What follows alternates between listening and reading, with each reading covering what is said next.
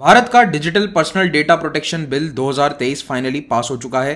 काफ़ी लंबे समय से इस कानून का देशवासियों को इंतज़ार था। सरकार भी इसे बहुत लंबे समय से पास करना चाहती थी और कई पेचीदगियों के बाद फाइनली ये बिल पास हो चुका है। लेकिन इसमें क्या बातें कही गई है? क्या इसकी लिमिटेशंस हैं? क्या इसके प्रोज हैं, क्या इसके कौन से इन सभी बातों पर हम चर्चा करेंगे आज इस वीडियो में। मेरा नाम है डॉक्टर महिपाल सिंह राठौड़ और पाथफाइंडर चैनल में आप सभी का स्वागत है। अगर आप पाथफाइंडर पर नए हैं तो हमारे चैनल को सब्सक्राइब ज़रूर करें। इस चैनल पर मैं और मेरी पूरी टीम आपके लिए करंट अफेयर्स के बहुत ही अच्छे वीडियोज़ लेकर आते हैं। डू चेक दम आउट अगर आप मेरे लेक्चर्स कोर्सेज और स्पेशल क्लासेस के अपडेट्स प्राप्त करना चाहते हैं तो आप मेरे टेलीग्राम चैनल से यहाँ पर जुड़ सकते हैं। इसके साथ ही अगर आप एक यूपीएससी एस्पिरेंट हैं तो देश का सबसे affordable UPSC course Udaan batch आप लोगों के लिए पाथफाइंडर की टीम लेकर आई है।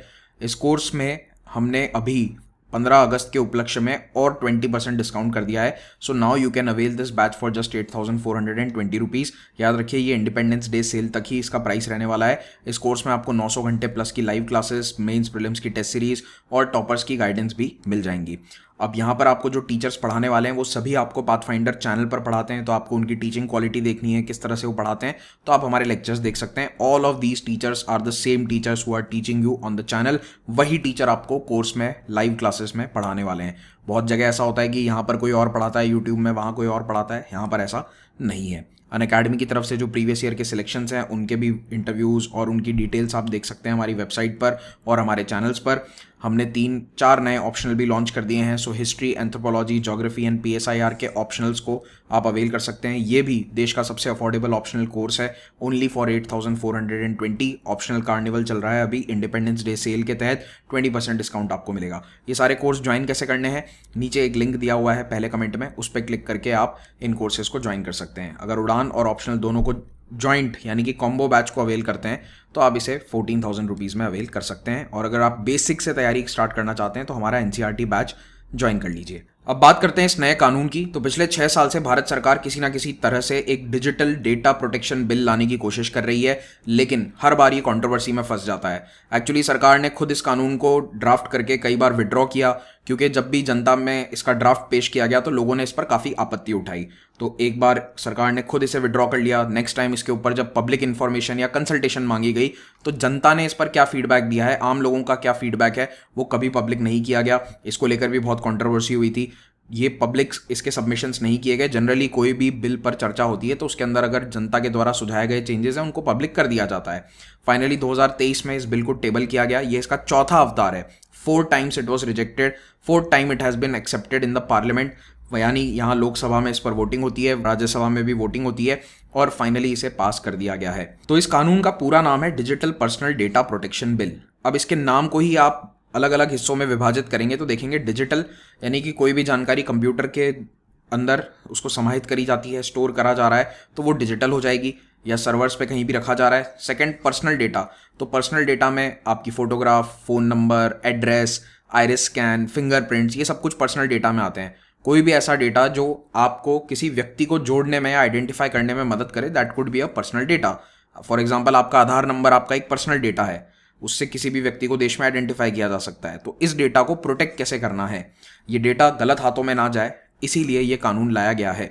तो इसका मेन मकसद यह है कि भारत के अंदर जो अलग अलग जगहों पर डेटा इकट्ठा किया जाता है, उसको सही तरीके से स्टोर किया जा सके ट्रांसमिट किया जा सके और सही तरीके से इस्तेमाल हो, इसके लिए एक नेटवर्क या एक फ्रेमवर्क तैयार करना। तो एक ऐसा प्रारूप या एक ऐसा ढांचा तैयार करना जो डेटा के प्रोटेक्शन में मदद करे। तो देखिए पर्सनल डेटा मैंने आपको बता दिया क्या होता है। अब प्रोसेसिंग क्या है? प्रोसेसिंग का मतलब है, जैसे साधारण सा आपको एक एग्जांपल देता हूँ। अगर आप किसी बिल्डिंग में या कहीं बड़े ऑफ़िस में एंटर करते हैं तो अक्सर आपका नाम और नंबर नोट किया जाता है गार्ड के द्वारा या जो भी सिक्योरिटी वाले होते हैं उनके द्वारा। वो भी एक प्रकार का डेटा कलेक्शन है। उस डेटा का प्रोसेसिंग कैसे हो रहा है? क्या आप उसको रजिस्टर में एंटर कर रहे हैं? या आपने कहीं अपना डिजिटली फ़ोन नंबर एंटर किया है, कंप्यूटर सिस्टम में डाला गया है? तो ये एक प्रकार का प्रोसेस है जो उस डेटा को कहीं ना कहीं स्टोर करेगा। उस डेटा को कैसे इस्तेमाल किया जा रहा है, उसके अंदर कलेक्शन, स्टोरेज, यूज़, शेयरिंग सब कुछ शामिल है। Everything is part of the process अब इस कानून के मुख्य फीचर्स क्या हैं, हम ये देखेंगे। तो नंबर वन कौन सा डेटा इस कानून के तहत आएगा?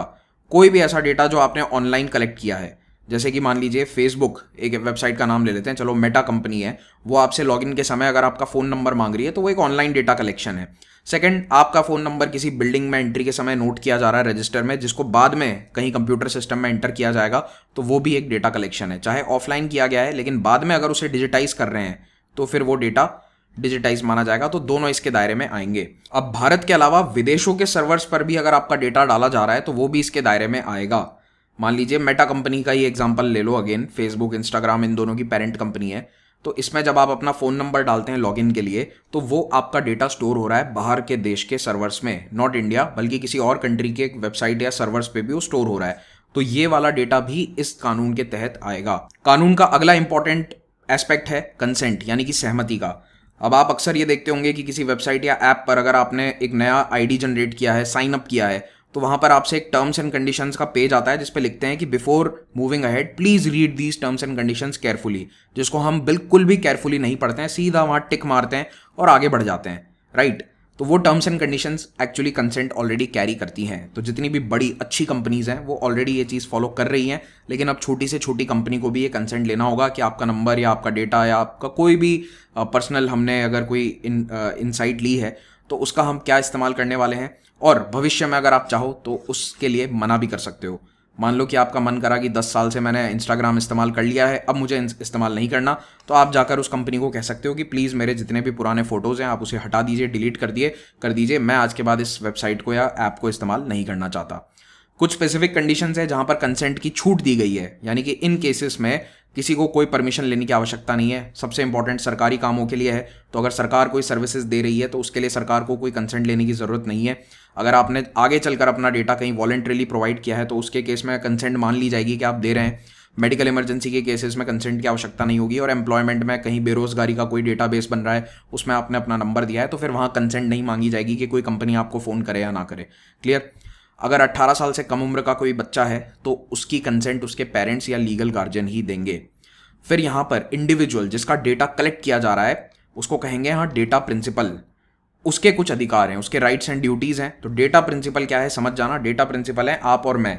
हम जैसे आम लोग जो अपना डेटा किसी वेबसाइट को देते हैं।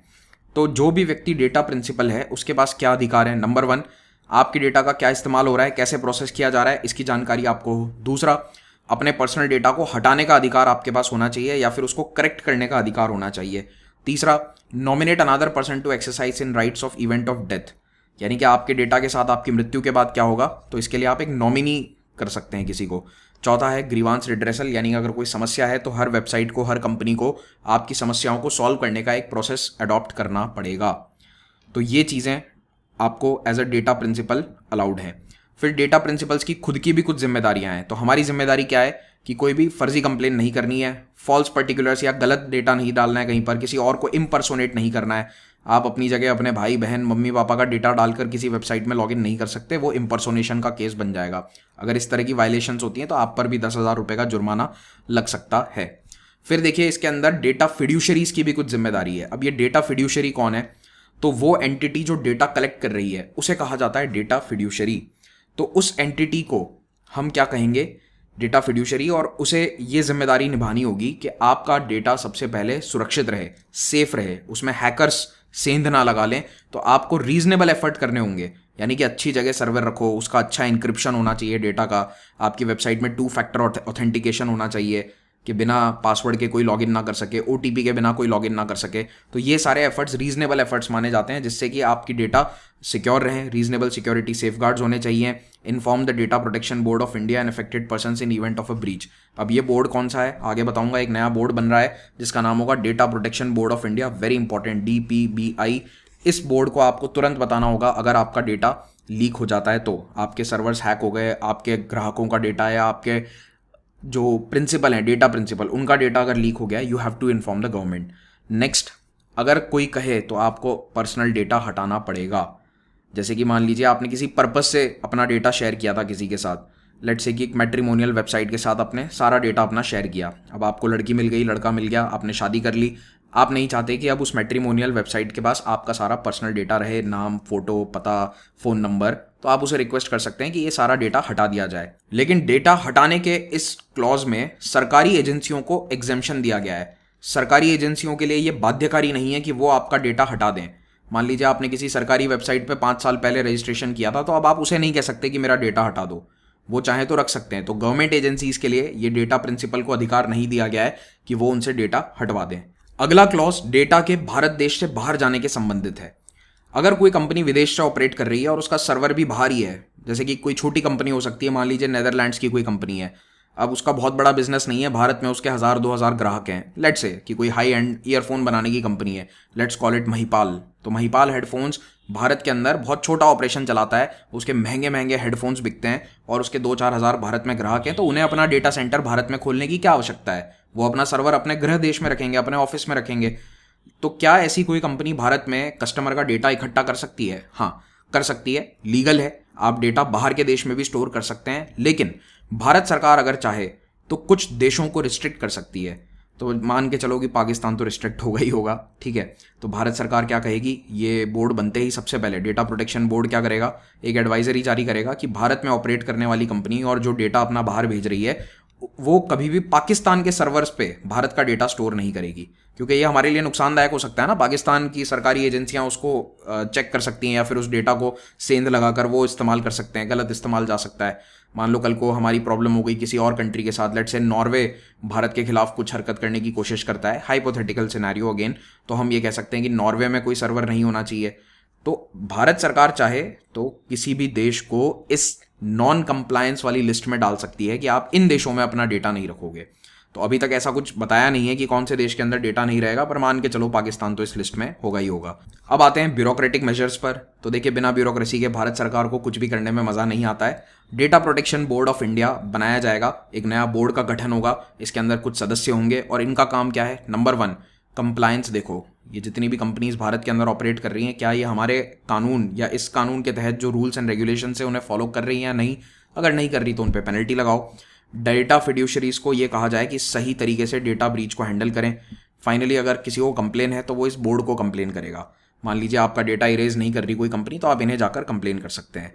तो इनके पास बहुत सारी पावर या अथॉरिटीज़ रहने वाली हैं। किसी भी कंपनी के डॉक्यूमेंट्स को चेक कर सकते हैं। ये जो पर्सनल डेटा को हैंडल कर रही है, किसी को भी बुलाया जा सकता है। समन करा जा सकता है, उससे पूछताछ करी जा सकती है। तो आप नोटिस करोगे कि इनके पास भी कॉजी जुडिशियल पावर्स हैं, जैसे कि हमारे एनएचआरसी के पास हैं, या फिर schedule caste and schedule tribe commission के पास में है। इस तरह के अधिकार इनको मिल जाते हैं। Finally they can recommend blocking access to intermediaries that repeatedly breach the bills provision किसी भी कंपनी को ब्लॉक किया जा सकता है, अगर वो कानून फॉलो नहीं कर रही। इसके बोर्ड के अंदर सदस्य होंगे, वो दो साल के लिए अपॉइंट होंगे और उनको रीअपॉइंट भी किया जा सकता है। बहुत लंबा कार्यकाल नहीं है, दो साल का कार्यकाल है। सेंट्रल गवर्नमेंट जल्दी बता देगी कि ये बोर्ड के अंदर कितने सदस्य होंगे और कैसे सिलेक्ट होंगे। अभी नंबर नहीं बताया गया है इस कानून के अनुसार, वो सरकार, केंद्र सरकार तय कर सकती है। अगर इस बोर्ड के डिसीज़न के खिलाफ आपको अपील करनी है तो वो होगी टी डी सैट में telecom dispute settlement and appellate tribunal इसके अंदर आप जा सकते हैं। वहाँ पे से भी संतुष्ट नहीं है तो फिर कोर्ट वगैरह तो है ही कोर्ट्स में भी आप जा सकते हैं। बट फ़िलहाल ब्यूरोक्रेटिकली आप यहाँ तक जा सकते हैं। पेनल्टीज़ तो देखिए यहाँ पर बहुत भारी पेनल्टीज़ का प्रावधान रखा गया है। अगर कोई कंपनी ऑफेंसेस लगातार करती रहती है तो 200 करोड़ तक का जुर्माना उस पर लगेगा for non fulfilment of obligations for children 250 crore का जुर्माना है two for failure to take security measures to prevent data breach तो अगर आपने सिक्योरिटी मेजर सही से नहीं अपनाए तो 250 करोड़ का जुर्माना, और अगर बच्चों का डेटा आप हैंडल करते हो और उसमें आपने कुछ गड़बड़ करी है तो 200 करोड़ तक का जुर्माना है। तो यहाँ पर 250 crore it's a huge amount इतना फाइन कंपनीज़ पर लग सकता है। इसमें एक बात है कि एग्जामेशन दिए गए एग्जामेशन किसे मिल रहा है? गवर्नमेंट अथॉरिटीज को मेनली यहाँ पर एग्जामेशन मिल रहा है। तो ये कानून कहता है कि central government will have the right to exam any instrumentality of the state ये काफ़ी इंटरेस्टिंग सेंटेंस है। यानी कि राज्य का कोई भी agency any instrument of the state जिसके माध्यम से सरकार काम करती है तो ये कोई भी संस्था हो सकती है, सरकारी संस्था, कोई पुलिस हो सकती है एडमिनिस्ट्रेशन हो सकता है, कोई पीएसयू हो सकता है, किसी भी सरकारी या ऐसी संस्था जो सरकार के माध्यम के लिए या सरकार के लिए काम करती है उसको एग्जामेशन दिए जा सकते हैं, क्योंकि नेशनल सिक्योरिटी का जहाँ मुद्दा है, वहाँ सरकार कंसेंट नहीं मांगेगी आपसे कि भैया आपकी डेटा की जाँच कर रहे हैं। कि कहीं आप देश विरोधी गतिविधियाँ तो नहीं कर रहे। सेकंड फॉरेन गवर्नमेंट्स के साथ आपकी डीलिंग है तो भी कंसेंट यहाँ पर नहीं ली जाएगी। आपका डेटा देखा जा सकता है। Maintenance of public order among other things ये थोड़ा सा पिक्यूलियर है। पब्लिक ऑर्डर मतलब मान लो किसी ज़िले में दंगा फसाद है तो वहाँ पर भी सरकार नोटिस कर सकती है या फेसबुक को कह सकती है कि आप इसका डेटा हमें दो। ये लोग हैं, ये शायद दंगे में इन्वॉल्व थे। इनका डेटा हमें चाहिए लोकेशन डेटा चाहिए फ़ोन कंपनी से। तो ये सारा डेटा बिना आपकी परमिशन क्या सरकार के द्वारा लिया जा सकता है। Now for example your mobile location is also very important data ठीक है? तो अभी तक क्या था कि मोबाइल कंपनीज़ के माध्यम से ये डेटा सरकार को मिल जाता था। लेकिन कई बार उन्हें कोर्ट में भी जाना पड़ता है। तो अभी ये प्रावधान रखा गया है कि अगर पब्लिक ऑर्डर मेंटेन करना है तो इस तरह का डेटा लिया जा सकता है, राष्ट्रीय सुरक्षा के लिए लिया जा सकता है। तो राष्ट्रीय सुरक्षा का मामला है, उसके साथ ही इन्होंने पब्लिक ऑर्डर डाला है तो इसका मतलब जो लोकल जैसे दंगा फसाद वगैरह होते हैं तो उस केसेस के अंदर भी ये क्लॉज एग्जेम्प्टेड रहेंगे। एग्जेम्पन्स के मामले में भारत सरकार और जो आईटी मिनिस्टर है हमारे, अश्विनी वैष्णव जी, उन्होंने मेनली यही पॉइंट आगे रखा है कि जब भी कोई आपदा आती है if there is any disaster उस समय फिर हम कंसेंट थोड़े ना लेंगे लोगों का कि आपका डेटा इस्तेमाल करें या नहीं करें। फॉर एग्ज़ाम्पल मान लो कि कोई भूकंप आ गया और कई लोग बिल्डिंगों के नीचे दबे हुए हैं। अब ऐसे में मोबाइल टावर के डेटा से पता चल जाता है। मान लो आपके घर वालों को नहीं पता कि आप कहाँ थे और उस समय भूकंप आ गया। अब आपको कैसे ढूंढा जाएगा शहर में? आपके मोबाइल के अंदर जो डेटा है, जो आपकी लोकेशन बता देता है, वो मोबाइल कंपनी को पता रहता है। लेट से कि आप अपने किसी दोस्त के घर पे थे, आप बेहोश पड़े हैं, आप मलबे के नीचे दबे हुए हैं तो ऑफकोर्स आपका डेटा निकाल लेगी सरकार, उससे ट्रायंगुलेट करके वो वहाँ तक पहुँच जाएँगे।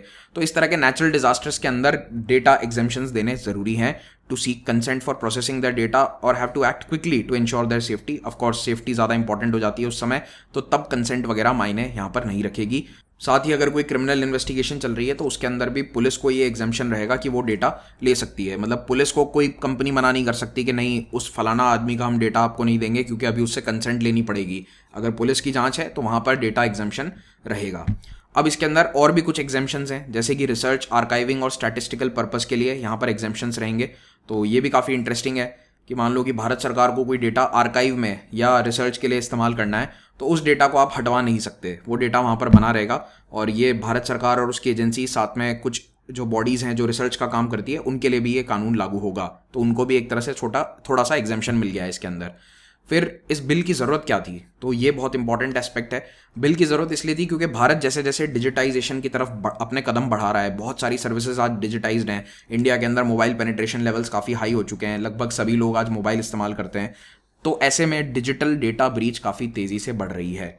2023 में इनफैक्ट सरकार के खुद के पोर्टल को हैक कर लिया गया था जब कोविन का पोर्टल हैक हो गया था।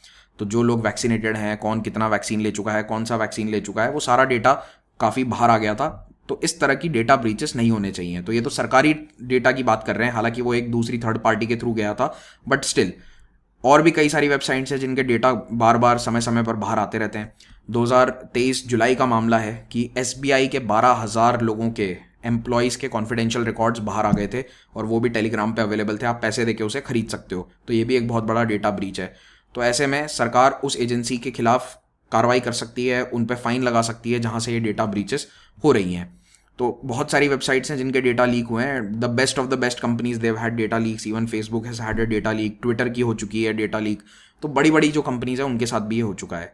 अब इसमें कंसर्न्स क्या हैं? इस पूरे कानून को लेकर कई लोगों ने कुछ कंसर्न्स जताए। नंबर वन जो सरकार को इतने सारे एग्जामेशन दिए गए हैं कि आप कुछ भी डेटा रख सकते हो, राष्ट्रीय सुरक्षा के नाम पे सरकार कोई भी डेटा ले सकती है, कोई कंसेंट की ज़रूरत नहीं है तो ये कहीं ना कहीं राइट टू प्राइवेसी के खिलाफ है या उसका थोड़ा सा हनन होगा। फिर यहाँ पर कोई राइट टू बी फॉरगॉटन नहीं है। तो जैसे यूरोपियन यूनियन में एक चर्चा चल रही है कई सालों से राइट टू बी फॉरगॉटन होना चाहिए।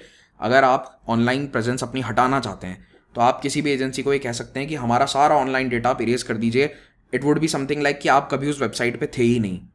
इस तरह से आपका सारा डेटा वहाँ से वाइप आउट कर दिया जाए। भारत के बाहर डेटा स्टोर करने को लेकर अभी भी कई कंसर्न्स हैं, क्योंकि टेक्निकली आप किसी भी देश में डेटा स्टोर कर सकते हो जब तक सरकार मना ना करे कि इस देश में ना स्टोर करो। So it could be any और उस तीसरे देश में क्या हालत है डिजिटल सिक्योरिटी की या फिर डेटा सिक्योरिटी की वो हमें नहीं पता। तो इसीलिए ये वाला जो मामला है थोड़ा कमज़ोर रह गया है। यहाँ पर सरकार को इसमें शायद थोड़ा सा और प्रोएक्टिव होना चाहिए था कि पर्सनल डेटा हमारा भारत के बाहर ना जाए। एक और आपत्ति इस कानून पर उठाई गई है कि ये आरटीआई को थोड़ा सा कमज़ोर करता है। कैसे? आरटीआई कानून के तहत सरकारी अधिकारियों के ज़्यादातर डेटा पब्लिक होते थे, जैसे कि गवर्नमेंट ऑफिशियल्स की कितनी प्रॉपर्टी है, क्या सैलरीज हैं, ये सब कुछ डेटा पब्लिक होता है। आप चाहो तो आरटीआई के माध्यम से किसी का भी आप सैलरी, डेटा या प्रॉपर्टीज़ वगैरह की लिस्ट आप निकलवा सकते हो। करेक्ट? लेकिन यहाँ पर एक एग्जामेशन आ जाएगा कि अगर पर्सनल जानकारी है तो वो बाहर नहीं आएगी। Information which relates to personal information that can not be given out in RTI तो इसके अंदर आरटीआई में भी एक छोटा सा अमेंडमेंट होगा। सो so, आर अभी as of right now personal information भी दे देती है। जैसे कि कोई सरकारी अधिकारी है और आप उसका फ़ोन नंबर एड्रेस या फिर उसकी संपत्तियों का ब्यौरा चाहते हो तो वो आपको आर के माध्यम से मिल जाएगा। लेकिन अब इसके अंदर पर्सनल इन्फॉर्मेशन को यहाँ पर रोका जा सकता है। तो माना जा रहा है कि जो भ्रष्ट अधिकारी हैं उनके लिए थोड़ा सा एक बचाव आ गया या उनके लिए एक बचाव की चादर यहाँ पर ओढ़ ली गई है। कि उनका पर्सनल डेटा ज़्यादा बाहर ना आए। सरप्राइजिंगली इस कानून में एक और बहुत बड़ी कमी है। ये आईटी एक्ट के एक प्रावधान को कमज़ोर बना देता है। जो हमारा आईटी एक्ट है, उसका सेक्शन 43 ए ये कहता है कि मान लीजिए किसी कंपनी का डेटा लीक हो गया तो आप एज अ डेटा प्रिंसिपल उस पर केस कर सकते हैं और उससे पैसे मांग सकते हैं और आपको डैमेजेस अवॉर्ड किए जाएँगे। यानी कि आपको जुर्माना देना पड़ेगा उस कंपनी को। लेकिन ये वाला कानून उसके अंदर एक बदलाव कर देता है। तो यहाँ क्लॉज 44 टू इस बिल का, ये 43 ए के क्लॉज को एग्जेम्प्ट कर देता है। यानी कि अब अगर डेटा ब्रीच में आपका डेटा बाहर गया तो आप कंपनी पर केस करके उनसे पैसा नहीं ले सकते, आपको कोई वैसी रिलीफ नहीं मिलेगी। तो ये थे इस कानून के कुछ मेजर प्रोज एंड कॉन्स इसके बारे में मेजर चर्चाएँ। आपको ये वीडियो कैसा लगा कमेंट में ज़रूर बताइएगा। टेलीग्राम चैनल से आप जुड़ सकते हैं। समुद्र मंथन हमारा टेस्ट है, जो हर वीक होता है। परस्पेक्टिव सीरीज़ से आप देखकर काफ़ी जानकारियाँ ले सकते हैं। Do join our social media handles thank you so much have a great day